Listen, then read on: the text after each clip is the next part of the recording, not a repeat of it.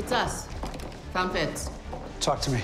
It's Bobbi. She set off some kind of EMP. She's gone. Mack 2. He embedded a scanner into little Lola's engine. It was programmed to find anything with vibranium. That's how Bobbi knew where to look. She has Fury's toolbox. Go, find her. We can't let them escape. We won't.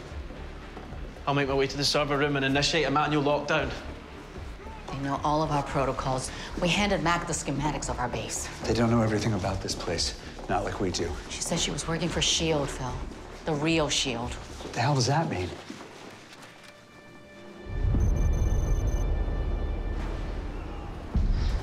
I'm running out of time, Mack. I need to find him. Conference room is up ahead. If he's not there,